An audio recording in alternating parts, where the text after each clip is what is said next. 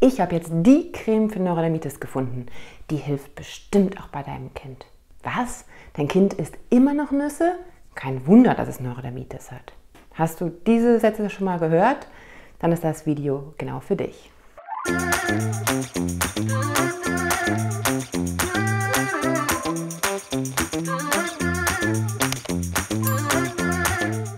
In diesem Video geht es jetzt darum, wie wird die Neurodermitis denn besser? Was kannst du tun? Vorab schau dir auch gerne Teil 1 meiner Neurodermitis-Videos an. Hier erfährst du noch viele andere Dinge.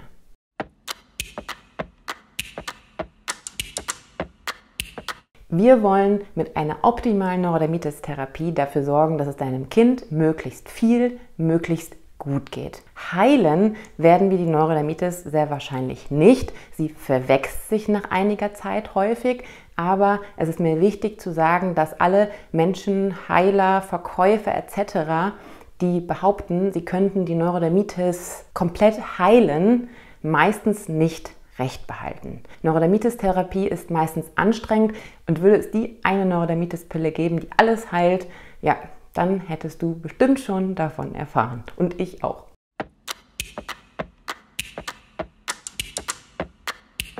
Therapiepunkt 1. Cremen. Cremen, Cremen, Cremen. Das sage ich so häufig, weil dieser Punkt den größten Teil der Neurodermitis-Therapie bildet. Wenn du diesen Punkt verinnerlicht hast, dann bist du schon so viel weiter. Cremen ist deshalb so wichtig, weil es an der Wurzel des Ganzen ansetzt. Es stellt nämlich, zumindest kurzzeitig, die Barriere der Haut wieder her, die ja bei Neurodermitis gestört ist. Die Creme ist quasi der Mörtel zwischen den Mauersteinen unserer Hautmauer. Also viel und häufig und gut eincremen. Das ist wirklich das absolute A und O. Wird die Neurodermitis besser? Erstmal Creme. Ist sie wieder besser? immer noch Creme. Wird sie wieder schlechter? Creme, Creme, Creme. Wird sie noch ein bisschen schlechter? Creme, Creme, Creme, Creme, Creme. Das kann man wirklich nie genug sagen. Und jetzt sagen viele, naja, aber es kann doch nicht sein, dass wir jetzt die Haut immer ständig cremen müssen. Da muss es doch auch was anderes geben. Ja, es gibt auch andere Dinge, dazu komme ich noch. Aber deinem Großvater würdest du ja auch nicht einfach seine Blutdruckmedikamente wegnehmen. Wenn man eine chronische Erkrankung hat, und das ist die Neurodermitis, dann braucht man auch seine Medikamente. Und in diesem Fall ist es die Basispflege, die Basistherapie. Aber womit cremst du denn jetzt? Wunderbare Frage. Auch hier vorab, es gibt nicht die Creme für alle Kinder mit Neurodermitis, die heilt. Auch hier, wer das verspricht, ist eher unseriös. Es gibt für jedes Kind eine andere Creme, die vielleicht helfen kann. Und auch für dein Kind selbst kann eine Creme, die heute funktioniert, übermorgen vielleicht schon nicht mehr ganz so gut funktionieren oder im Winter besser als im Sommer oder in zwei Jahren nicht mehr so gut wie jetzt. Um dir dennoch ein paar Hinweise zu geben, wichtig ist darauf zu achten, heißt das Ganze jetzt Lotion, Creme oder Salbe. In Lotion ist viel Feuchtigkeit, viel Wasser enthalten. In Creme ist so ein Mittelding und in Salbe ist besonders viel Fett. Das ist wichtig zu verstehen, dass auf sehr gerötete Stellen kein Fett sollte, also keine Salbe, sondern eher möglichst wasserreiche Pflegeprodukte. Wenn die Haut jedoch sehr trocken und schuppend ist, dann können Salben gut helfen. Bei allem dazwischen ist eine Creme super. Also wenn irgendwas nicht ganz so gut funktioniert, kannst du mal gucken, schmierst du gerade etwas richtig Fettes auf rote Haut oder äh, versuchst du eine trockene Haut mit einer Lotion zu pflegen. Allein hier kann man schon viel optimieren. Und es gilt auch nicht sparen beim Creme. Wirklich große Mengen verwenden, gut einmassieren und auch häufig am Tag. Wenn dein Kind gerade eine akute Neurodermitis hat, ist es teilweise vier, fünf, sechs Mal und noch häufiger notwendig, das Kind einzucremen. Ich weiß, es ist unglaublich anstrengend, sowohl für dich als auch für dein Kind, aber es ist und bleibt das A und O. Bei Kindern mit Neurodermitis unter 12 Jahren kann auch euer Kinderarzt bestimmte Cremes verschreiben. Das sind leider nur sehr wenige, aber dann müsst ihr dafür wenigstens nicht selbst aufkommen. Das kann man zuerst einmal probieren. Wenn du jetzt in die Apotheke oder in den Drogeriemarkt gehst und selber dort Pflegeprodukte kaufst, würde ich immer raten, ähm, zu schauen, dass keine ähm, Parabene, Konservierungsstoffe und Duftstoffe enthalten sind. Es gibt auch bestimmte Allergikersiegel, auf die kann man achten. Dann, wie gesagt, es hilft nicht immer die Creme, muss man manchmal auch ein bisschen ausprobieren. Es rät sich zum Beispiel im Halbseitenversuch einzucremen, also zum Beispiel eine Woche lang hier die eine Creme, da die andere Creme. Achtung, nicht die Seiten vertauschen und dann nach einer Woche gucken, hm, welche Seite war denn besser. Darüber hinaus kann man auch noch auf Feuchthaltefaktoren, also Moisturizer in den Cremes achten. Das ist zum Beispiel Glycerin oder auch Urea. Bei letzterem Achtung, ähm, das sollte man bei kleinen Kindern, vor allem unter zwei Jahren, nicht verwenden, weil es brennen kann. Ich bin total Fan von Naturkosmetika, allerdings bei Kindern mit Neurodermitis wäre ich da sehr zurückhaltend. Die haben einfach ein hohes Potenzial, allergisch zu reagieren. Deshalb, ich würde bei deinem Kind mit Neurodermitis auf etwas anderes zurückgreifen. Dinge wie Volvax, Arnika, Kamille und Achtung, Calendula können Kontaktallergien auslösen und darauf würde ich lieber verzichten. Auch ist pures Öl keine Hautpflege. Öl reinigt super gut die oberste Hautschicht, aber bitte kein reines Öl verwenden. Manchmal verschreiben Kinderärzte so eine Mischung aus Olivenöl und anderen Dingen. Das ist häufig sehr wirkungsvoll, aber kein pures Öl verwenden und vor allem kein pures Olivenöl. Das kann nämlich die Haut besonders reizen.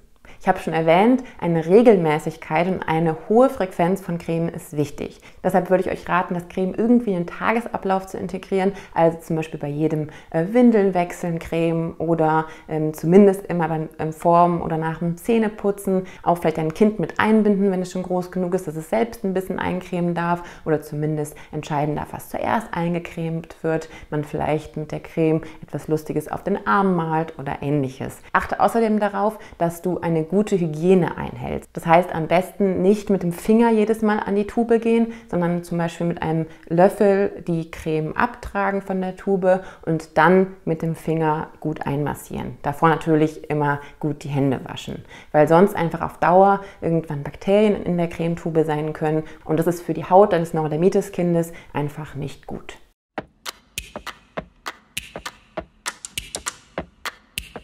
Punkt 2 ist kurz und knackig. Versuche Provokationsfaktoren der Haut deines Kindes zu vermeiden. Also kratzige Kleidung oder starkes Schwitzen, Stress, ähm, Tabakrauch in der Umgebung und so weiter.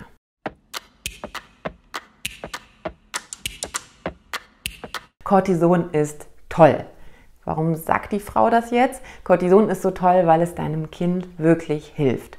Cortison ist stark entzündungshemmend. Äh, wir hatten ja schon gelernt, die Haut bei Neurodermitis ist entzündet und deshalb auch so gerötet und meistens macht auch diese Entzündung den Juckreiz. Das heißt, wenn du durch das Cortison die Entzündung aus der Haut nimmst, dann juckt die Haut auch weniger.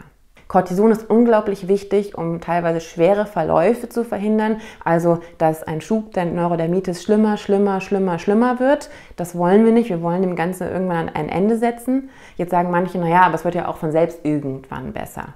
Ja, dieses irgendwann kann früher, aber auch später sein. Und bis es von selber wieder besser wird, leidet ein Kind.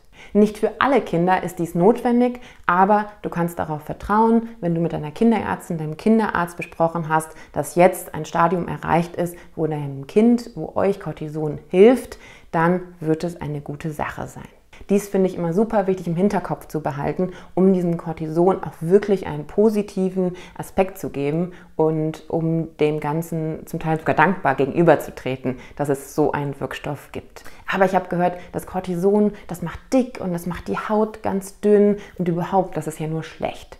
Man muss ganz klar unterscheiden zwischen Cortisonpräparaten, die zum Beispiel geschluckt werden, also die systemisch eingenommen werden, und Cortisonpräparaten, die auf die Haut aufgetragen werden. Das ist ein großer Unterschied. Bei diesen aktuellen, modernen, sehr wirksamen Cortisonpräparaten, die wir einsetzen, wissen wir, dass es heutzutage kaum noch zu Nebenwirkungen kommt, vor allem nicht, wenn man ein paar Regeln beachtet. Nämlich ist es natürlich wichtig, nicht riesige Bereiche des Körpers einzucremen oder dass man Stellen wie im Gesicht oder im Windelbereich entweder gar nicht mit Cortison behandelt oder nur sehr zurückhaltend. Oder dass man jetzt zum Beispiel nicht für Wochen täglich Cortison anwendet. Wenn man also diese Dinge beachtet und moderne Präparate verwendet, dann ist das Ganze eine sichere und vor allem sehr wirksame Sache.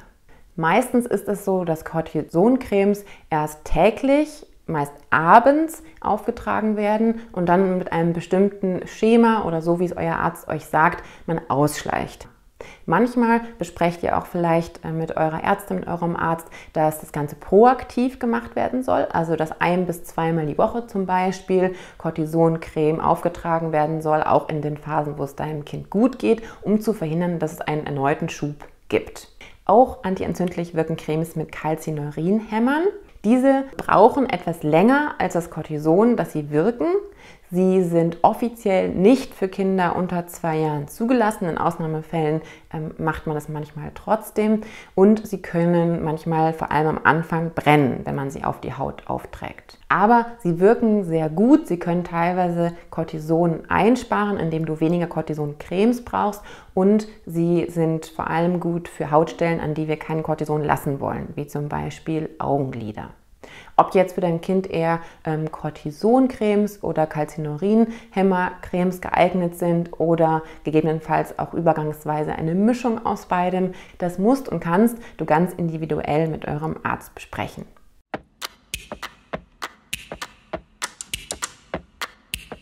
Punkt 4 betrifft vor allem speziell so eher nässende, feuchte Hautstellen, also ganz klassisch beim Baby die Halsfalten.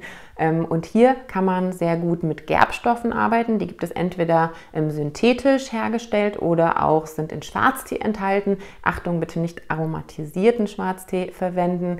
Ähm, oder man kann Präparate mit Zink verwenden. Das kennst du auch ganz klassisch schon von der Wundschutzpflege beim Windeln und Zink sorgt auch super dafür, dass diese feuchte Haut etwas positiv austrocknet und wirkt vor allem auch entzündungshemmend. Bei sowohl Gerbstoffen als auch Zink musst du darauf achten, das nicht zu lange zu machen, denn irgendwann, wenn diese feuchte Phase vorbei ist, kann die Haut von diesen austrocknenden Substanzen auch irgendwann zu trocken werden.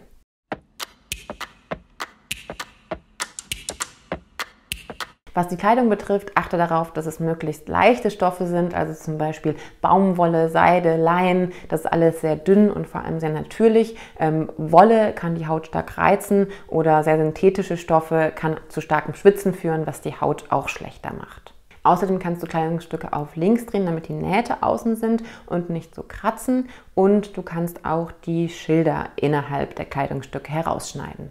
Neue Kleidung würde ich vor dem ersten Tragen immer einmal waschen. Ähm, hierbei kannst du gerne ein Waschmittel verwenden, was für Allergiker geeignet ist. Es ist nicht notwendig, einen Hygieneweichspüler zu benutzen. Das ist für unsere Umwelt alles andere als gut und es ist nicht unbedingt notwendig. Natürlich ist weiche Kleidung oft etwas angenehmer auf der Haut, aber da könnt ihr bestimmt so euer eigenes Ding finden, wie ihr das am besten hinbekommt. Es gibt Neurodermitis-Anzüge für die Nacht, da sind Silberfäden drin, die sollen antimikrobiell wirken. Ähm, das kann man vor allem bei schwerer Neurodermitis mal ausprobieren, ist aber nichts, was zwingend notwendig ist und vor allem nichts, was immer unbedingt hilft. Was aber auf jeden Fall praktisch sein kann, ist für die Nacht so Baumwollhandschuhe anzuziehen, einfach damit dein Kind sich nicht so stark kratzen kann.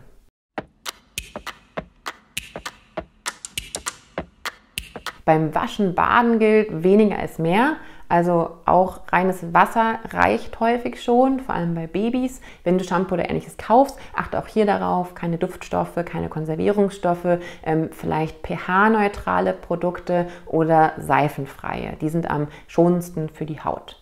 Baden und Neurodermitis oder allgemein Wasser, das verbinden ja viele mit eher etwas Negativem. Tatsächlich kann es gut sein, nach einem Tag, wo das Kind auch mal richtig schmutzig ist oder viel geschwitzt hat, die Haut vernünftig zu reinigen. Und bei manchen Kindern wirkt Baden auch beruhigend, sodass sie dann auch vielleicht besser schlafen können abends. Und natürlich ähm, langes und vor allem heißes Duschen oder Baden ist nicht gut für die Haut. Darauf würde ich verzichten. Also möglichst, wenn du dein Kind badest, darauf achten, dass das Wasser nicht so heiß ist und dass es nur so fünf bis zehn Minuten badet. Duschen ist nochmal etwas schonender. Wichtig ist, nach dem Baden die Haut gut trocken machen, aber nicht mit Rubbeln, sondern mit vorsichtigen Tupfen und danach immer und richtig gut eincremen.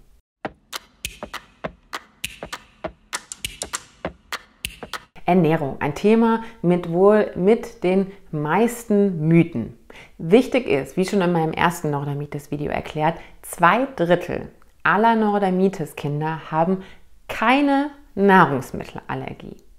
Natürlich möchten wir immer irgendwelche Ursachen oder Auslöser finden und dann verbinden wir ganz häufig das Essen mit der Verschlechterung der Haut. Das Ding ist, dein Kind isst ja täglich und die Haut verändert sich auch täglich. Und das steht in ganz vielen Fällen trotzdem in keinem Zusammenhang.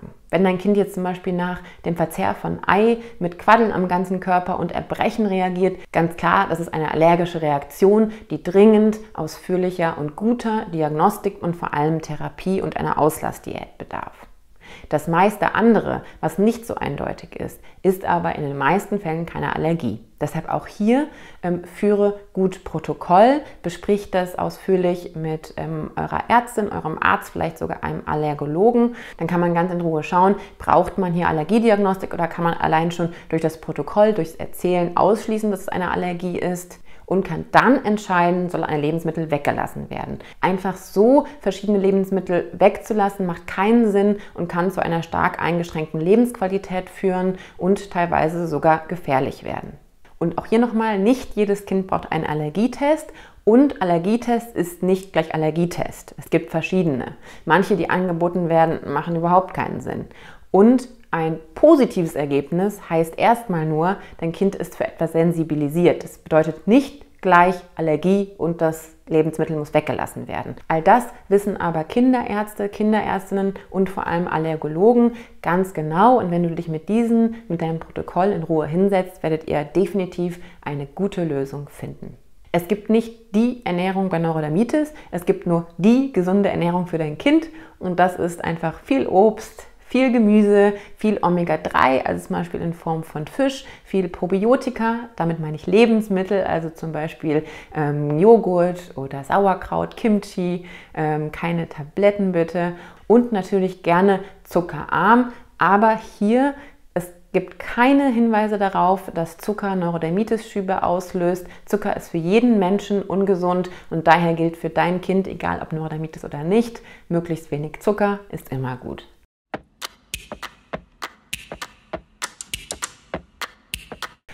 Oh, wenn du dieses Kratzen nicht wäre. Das Kratzen macht mich verrückt. Das geht bestimmt dir als Elternteil so, aber das geht vor allem deinem Kind so. Dieses Jucken, dieses Kratzen ist mit das, was einfach den höchsten Leidensdruck macht.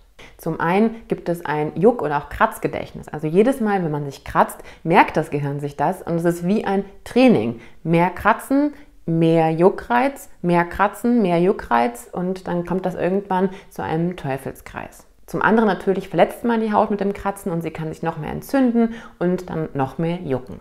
Also, was machen wir jetzt gegen diesen Juckreiz? Zum einen ist Cremen auch hier wichtig. Was man eincremt, juckt meist weniger. Man ist abgelenkt und es kühlt und es schützt einfach gut die Haut. Das heißt Creme, Creme, Creme. Dann gibt es zum Beispiel so Fett-Feucht-Umschläge. Also man gibt zum Beispiel auf den Arm ein bisschen was von der Pflegecreme. Darüber zieht man einen angefeuchteten Schlauchverband, der das Ganze mit seiner Feuchtigkeit gut kühlt. Die Creme darunter kann gut einwirken und dann einfach zum Schutz des Ganzen kommt am besten noch ein trockener Schlauchverband oder Allgemeinverband darüber. Das kann man mal so für 10 Minuten machen und das kühlt gut, die Creme kann richtig gut einziehen und dann ist einfach der Juckreiz viel weniger. Achtung, das Ganze nicht mit Cortison machen, dann kann es einfach zu sehr von der Haut aufgenommen werden und das sollte man auch jetzt nicht ständig und jeden Tag machen. Irgendwann mag die Haut das auch nicht mehr.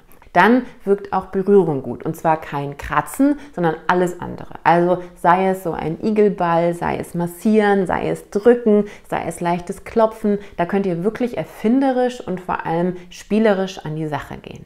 Auch ablenken ist natürlich wichtig. Also zum Beispiel vielleicht etwas zu essen geben oder etwas zu spielen geben. Vor allem bei kleineren Kindern ganz gut. Dann die Fingernägel immer richtig, richtig kurz halten, damit dein Kind sich die Haut erst gar nicht groß verletzen kann. Außerdem hilft, haben wir eben schon beim Fettfeuchtumschlag gesagt, kühlen. Das heißt zum Beispiel, du kannst die Creme, die ihr verwendet, in den Kühlschrank stellen. Manche Kinder mögen das ganz gerne, wenn die etwas kühl ist. Oder auch einen Löffel aus dem Kühlschrank. Irgendetwas, das angenehm kühl ist und diesen Juckreiz lindert. Achtung, bitte nichts, was aus dem Gefrierfach kommt, verwenden. Das kann die Haut sogar schädigen. Für größere Kinder sind super gut Entspannungstechniken, also wirklich so Traumreisen, Bodyscan, Meditation oder ähnliches. Weil wenn man natürlich innerlich angespannt ist oder auch gestresst ist, dann wird der Juckreiz noch viel, viel mehr. Und es ist super schwer, aber versuch deinem Kind nicht zu sagen, dass es sich nicht kratzen soll. Es macht das nicht, um dich zu ärgern und auch nicht, weil es ihm Spaß macht, sondern einfach, weil es nicht anders kann. Und wenn es ständig hört, kratz dich nicht, hat es diese Schuldgefühle, dass es irgendwas falsch macht und das ist ja eigentlich genau das, was wir nicht auslösen wollen. Viel wichtiger ist es, dann auch wirklich positives Verhalten zu bestärken. Also, hey Mensch, du hast dich heute richtig toll eingecremt oder das hast du super gemacht. Ähm, das hilft deinem Kind sehr gut. Was immer ergänzende, sehr gute Bausteine sind definitiv eine Neurodermitis-Schulung. Da würde ich immer eure Ärztin drauf ansprechen. Dann ähm, eine Reha, also zum Beispiel am Meer oder in den Bergen, anderes Klima kann der Haut gut tun. Und Selbsthilfegruppen sind oft unglaublich gut, um sich nochmal Tipps zu holen oder vor allem Unterstützung. Wenn du oder dein Kind durch die Neurodermitis wirklich psychisch ähm, belastet seid, dann ist auch unbedingt psychologische Hilfe oder eine Psychotherapie ganz wichtig. Da würde ich mich nicht scheuen, um Hilfe zu fragen.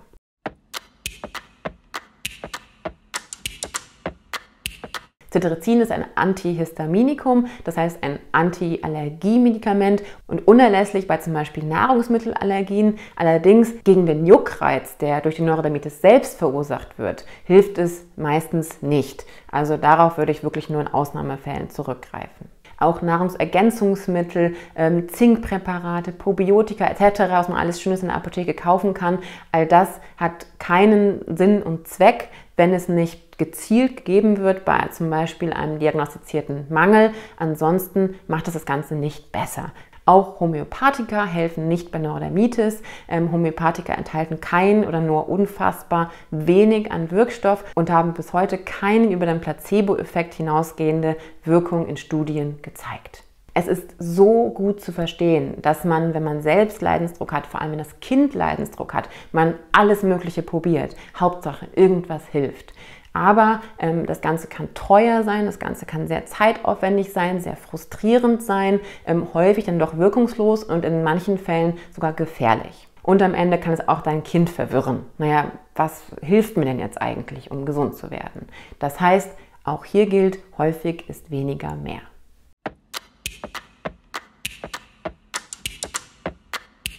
Mein Fazit. Ich finde, dass Neurodermitis als solche auch ausgesprochen werden soll, benannt werden soll, wenn ein Kind diese hat, damit man einfach sich optimal darum kümmern kann. Letztendlich ist für mich eine Mischung aus Kompetenz und Konsequenz die beste. Das heißt Kompetenz, dass du wirklich weißt, wie wird die Neurodermitis ausgelöst, was ist es eigentlich für eine Krankheit, was mache ich dagegen am besten, also wirklich Wissen, dass du weißt, was dahinter steckt und dann Konsequenz. Also ein bisschen natürlich ausprobieren, was hilft meinem Kind am besten, aber am Ende des Tages bei einer Sache auch mal ab und zu bleiben und die einfach konsequent durchzuziehen. Denn häufig ist die Creme, die man wirklich konsequent täglich und oft anwendet, die beste, egal welche Marke.